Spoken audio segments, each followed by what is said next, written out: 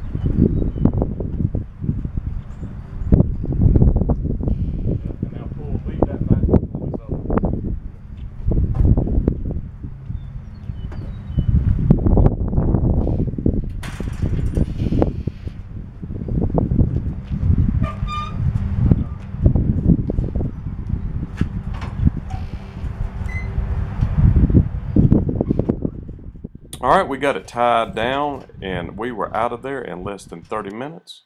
I am the spa guy and we don't know much, but we do know hot tubs. You can bank on that.